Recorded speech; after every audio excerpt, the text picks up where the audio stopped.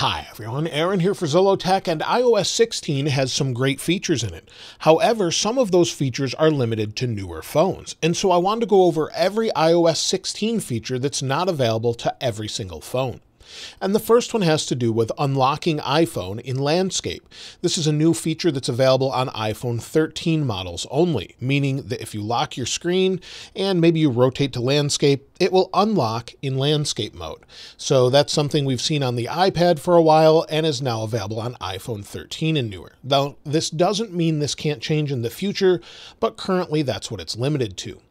The next feature is one that goes along with macOS Ventura, Continuity Camera. It allows you to use the camera on the back of your phone with a Mac running macOS Ventura.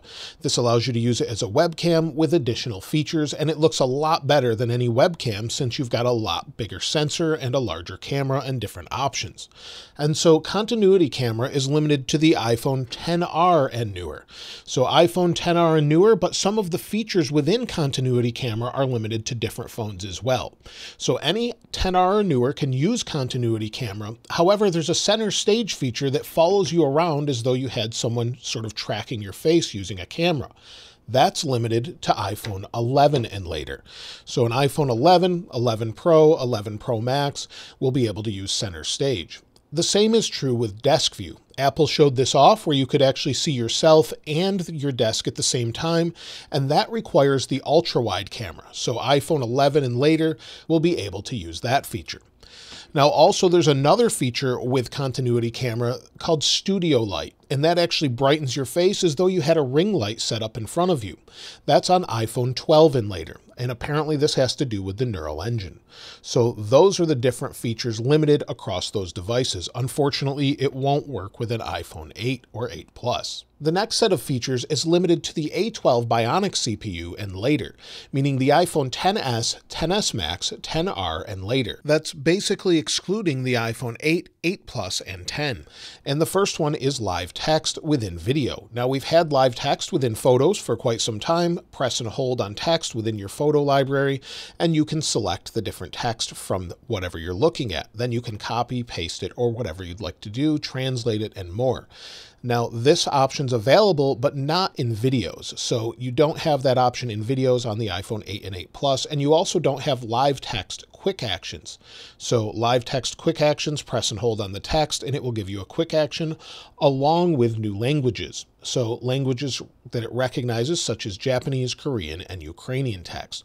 That's all limited to A12 Bionic and newer. Also, another thing that's limited has to do with Siri. If we go into just a different text here, and if we use Siri or dictation, and we use Siri to insert emoji, you can't do that on iPhone 8 and 8 Plus, meaning if we press the microphone here, smiley face emoji you'll see it changes and gives you an emoji. You can't do that on the 8 or 8 Plus because, because it requires the A12 Bionic and later. Also, you can't discover Siri capabilities in iOS by asking, what can we do here? So if we do that here, what can we do here?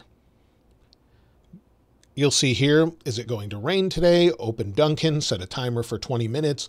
This will give you options on A12 Bionic and later. You can't do that on 8 and 8 Plus. Also, hanging up a call with Siri requires an A12 Bionic or newer, so that's an unfortunate thing. If we go into settings, and we go to Siri and search on both devices, you'll see here on the iPhone 13 Pro Max in my right hand that we have the option for Siri call hangup. We don't have that option on the iPhone 8 or 8 Plus. So for whatever reason, it can't do it based off of the processor. So that's something you can't do. And also on the A12 Bionic and newer, Siri can process more types of requests offline without using an internet connection, such as home control, intercom, and voicemail. And the same is true when you're using dictation. So the new dictation experience that I've showed before, so if we go back over here, and we just press on the microphone and continue to talk. And then while we're speaking, we can stop, maybe put in a sentence. This is a text, and you'll see it broke up here because I'm speaking, but it will continue typing. This new experience is on A12 Bionic and newer. It won't start and stop on its own, unfortunately, on the older devices. So that's something that's limited to A12 Bionic and newer, as well as medications. That's a new feature within health. So if we go into health, go to browse, then go down to our medications. Under medications, we can add a medication and we have the option for a camera we cannot add medications using a camera on the older devices. So if we go into health here, let's find that. And on the 8 Plus, if we add a medication, you'll see that we don't have the camera option. So they've removed that for whatever reason on anything that doesn't have an A12 or newer. The next feature requires an iPhone 11 and later, meaning an iPhone 11, 11 Pro, 11 Pro Max to the latest 13 series devices. And that has to do with live captions. Live Captions is a new feature that will generate text automatically in real time for users who are hard of hearing or deaf so they can follow along more easily with conversations, audio, and video. And if we go into our settings, go to Accessibility, scroll down, you'll see that we have Live Captions in beta. Again, you'll need an iPhone 11 or later for this to work, not only overall, but also in FaceTime as well.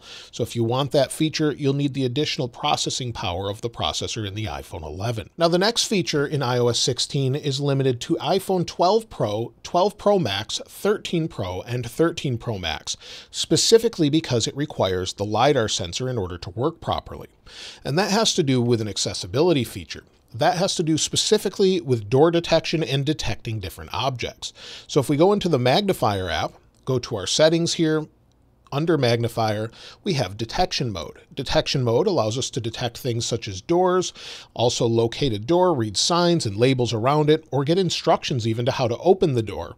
You can get rich descriptions of your surroundings and also detect people and images as well. We could detect people before, but now it will give you more information about that. So when you have door detection mode on, you'll be able to recognize different things using detection mode. So that's something that's new and specific to those devices because it requires that LiDAR sensor. Lastly, there are two features that are limited specifically to the iPhone 13 series phones 13, 13 mini, 13 Pro, and 13 Pro Max. And that has to do with the camera.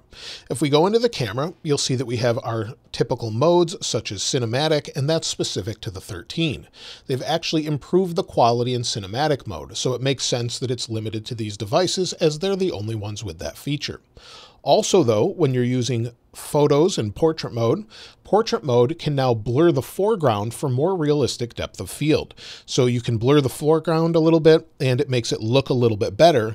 And unfortunately, this is limited to the iPhone 13 series phones. So it has to do with the CPU and the neural engine, and it's limited to that. So those are all of the features limited to different devices. Other than that, there's still 100 plus features that will be available on all the different devices, from the lock screen changes to the different app changes and much much more. So most features are not limited to different phones, but those ones specifically are. So hopefully if you're looking maybe for door detection and you need that, you'll need to get a newer phone for that. So hopefully that helps you determine which one works for you and let you know maybe what to upgrade to next.